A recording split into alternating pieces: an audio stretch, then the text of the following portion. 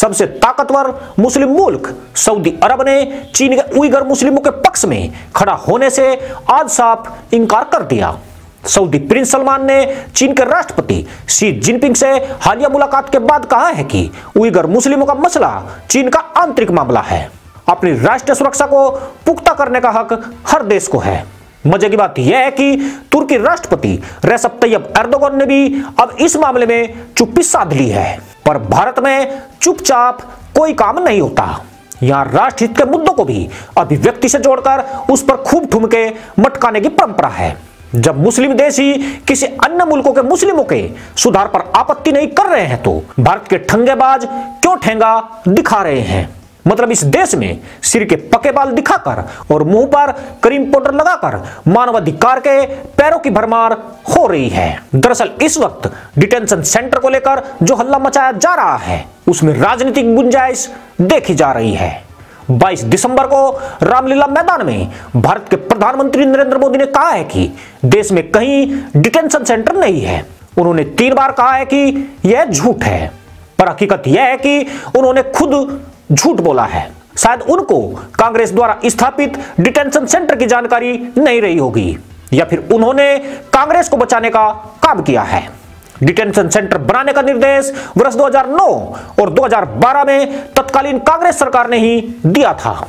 इसके बाद ही वर्ष 2011 में असम में तीन डिटेंशन सेंटर बना दिए गए, जो अगस्त 2016 में छह सेंटर तक हो गए।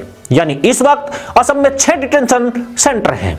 इन डिटेंशन सेंटर में 28 नवंबर 2019 तक 970 लोग रह रहे थे।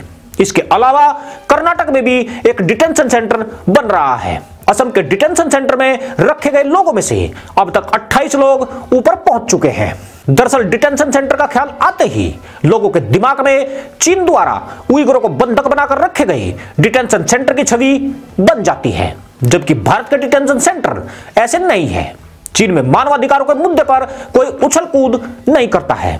भारत में स्थिति इसके ठीक उलट है। यहाँ तो एडवांस में क्रीम पाउडर तैयार रहता है। भारत में डिटेंशन सेंटर की शुरुआत वर्ष 2009 में कांग्रेस सरकार ने इसलिए की थी ताकि अवैध प्रवासियों को पहचान कर उन्हें हिरासत के लिए डिटेंशन सेंटर में भेज दिया जाए। हालाँकि कांग्रेस सरकार ने यह अधिकार राज्य सरकारों को हस्तांतरित कर दिया था। ये अवैध प्रवासी तब तक डिटेंशन सेंटर में रहने थे, जबकि उनकी राष्ट्रीयता की पहचान करके उन्हें प्रत्यारोपित नहीं कर दिया जाता। लेकिन कांग्रेस कार्यकाल में ही इन डिटेंशन सेंटरों का उपयोग अवैध प्रवासियों की बुद्धि ठीक किए जाने के लिए किया जाने लगा। कांग्रेस सरकार के कार्यकाल में ही केंद्र राज्यों को और केंद्र शासित प्रदेशों को मॉडल डिटेंशन सेंटर और होल्डिंग सेंटरों के संबंध में नियमावली राज्यों को भेजता रहा है। केंद्र ने बार बार राज्यों को डिटेंशन सेंटर स्थापित करने के निर्देश भी भेजे हैं। वैसे इस वक्त भारत में जिस प्रकार चरमपंथ बढ़ रहा है, उसने डिटेंशन सेंटर की ज़रूरत बढ़ा दी है। वर्तमान में जो डिटेंशन सेंटर काम कर रहे हैं, उसके प्रत्येक सेल में आठ से दस लोग रखे जा रहे हैं, जिनमें उनको चरमपथ से दूर करने की शिक्षा दी जाती है। हालाँकि चीन के मुकाबले भारत के डिटेंशन सेंटर मानवाधिकारों के प्रति बेहद गंभीर है। यहाँ किसी की पूजा पद्धति को नहीं बदला जाता, बल्कि उनको वैज्ञानिक आधार पर शिक्षा दी जाती है। भारत सरकार इस वक्त कुछ भी कहे, लेकिन नागरिकता संशोधन कानून के बाद विशेष समुदाय ने जिस प्रकार उछल कूद की है, उसने सरकार की चिंता ज़रूर बढ़ाई है। इस घटना से साबित हुआ है कि भारत का विशेष समुदाय देश विरोध और कट्टरपंथ की तरफ़ बढ़ रहा है। जिसका खामियाजा आने वाले वक्त में भारत को भुगतना पड़ सकता है। ऐसे में डिटेंशन सेंटर की कमी अवश्य महसूस की जा रही है। डिटेंशन सेंटर मुस्लिम वर्ग के लिए फ़ायदे की बात हो सकती है। इनमें डालकर, इन्हें व्यवसायिक प्रशिक्षण देकर गरीबी और चरमपद से दूर किया जा सकता है। उत्तर प्रदेश की योगी सरकार भी अब हर ज़िले में ऐसे डिटेंशन सेंटर बनाने पर विचार कर रही है, क्योंकि देश में सबसे बड़ी मुस्लिम आबादी उत्तर प्रदेश में ही रहती है। इसी प्रदेश से सबसे ज़्यादा मुस्लिम की निकले हैं। ऐसे में योगी सरकार इस मुद्दे पर कहीं अधिक गंभीर नज़र आती है।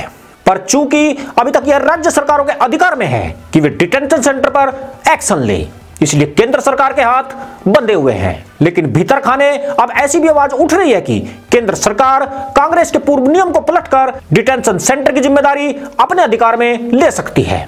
सरकार के। ऐसा करने से डिटेंशन सेंटर में मौजूद चरमपंथियों को अधिक मदद मिल पाएगी। आप मित्रों से अनुरोध है कि डिटेंशन सेंटर के विषय में कमेंट करके अवश्य बताएँ कि यह होने चाहिए अथवा नहीं।